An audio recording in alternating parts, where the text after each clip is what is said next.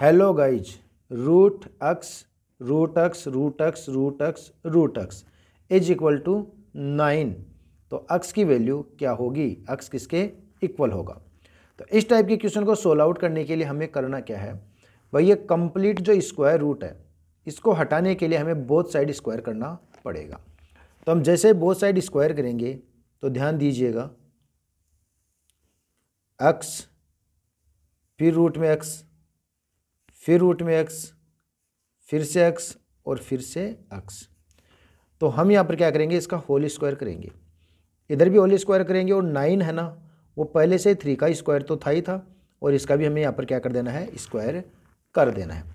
अब ये जो स्क्वायर है ना, वो इस एक रूट को ऐसे कैंसिल कर देगा।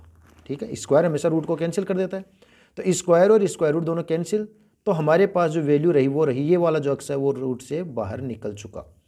लेकिन अभी भी ये जो चार अक्स है ना, वो रूट के अंदर है। तो ये पहला अक्स आ गया, ये वाला दूसरा अक्स आ गया, ये वाला तीसरा और ये वाला चौथा, यानी फ़र्स्ट, सेकंड, थर्ड और fourth. Is equal to power के ऊपर पावर होती है ना, वो मल्टीप्लाई हो जाती है। तो यहाँ पर हो गए टू इंटू टू, यानी फोर। थ्री की पावर यहाँ पर बन जाएगी फोर। इस रूट को हटाने के लिए हमें एक बार फिर से बोथ साइड स्क्वायर करना पड़ेगा।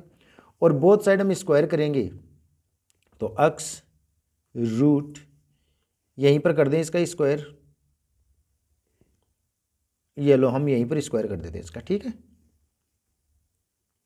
तो इस स्क्वायर से क्या होगा कि ये रूट तो कटेगा ही कटेगा, पर इस स्क्वायर के लिए जो अक्स वो फ्री बैठा था ना तो इसका क्या हो जाएगा यहाँ पर? होल स्क्वायर हो जाएगा। तो ये वाला जो अक्स है, इसको स्क्वायर मिलेगा तो ये तो हो जाएगा एक्स स्क्वायर और इस स्क्वायर से ये जो रूट है ना, वो क्या हो जाएगा? कट जाएगा। ये कटेगा तो ये जो एक एक्स है ना, ये वाला, ये फ्री हो जाएगा और अंदर one two three three x root के अंदर रह पाएँगे। और उधर पावर के ऊपर पावर है तो मल्टीप्लाई जाएगी। फोर टू जा एट थ्री की पावर हो जाएगी एट बाहर की तरफ़ अक्स की पावर टू और अक्स, इनको अपन मल्टीप्लाई करेंगे। तो अक्स की power three root x root x root x is equal to three की पावर एट इस रूट को हटाने के लिए हमें एक बार फिर से इसका स्क्वायर करना होगा। तो स्क्वायर करेंगे हम कंप्लीट का बोथ साइड इधर भी स्क्वायर करेंगे और उधर भी स्क्वायर करेंगे। तो इस स्क्वायर से क्या होगा? इसको पावर जो तीन है, ये स्क्वायर इसका भी है और ये स्क्वायर इसका भी है, क्योंकि यहाँ पर मल्टीप्लाई का साइन है। तो यहाँ पर बन जाएगी अक्स की पावर कितनी है? थ्री और टू वो। तो पावर के ऊपर पावर होगी तो मल्टीप्लाई तो अक्स की पावर तो हो गई सिक्स और ये जो अक्स टू है, इसे ये वाला रूट कैंसिल भी हो जाएगा। तो यहाँ की स्थिति आएगी x root x root x is equal to three की पावर एट को टू से मल्टीप्लाई करो सिक्सटीन फिर एक्स की पावर सिक्स और वन एक्स की पावर हो जाएगी सेवन एक्स की power seven root x root x is equal to three की पावर सिक्सटीन इस रूट को हटाने के लिए हमें एक बार फिर से बोथ साइड स्क्वायर करना होगा और हम बोथ साइड इसका स्क्वायर करेंगे इस तरह से. तो स्क्वायर इसको मिलेगा तो सेवन टू जा कितने हो जाएँगे? फोर्टीन अक्स की पावर फोर्टीन इन टू इस स्क्वायर से ये वाला रूट कैंसिल हो जाएगा। तो अक्स अब सिर्फ़ एक ही एक्स है ना, वो रूट के अंदर रह पाएगा।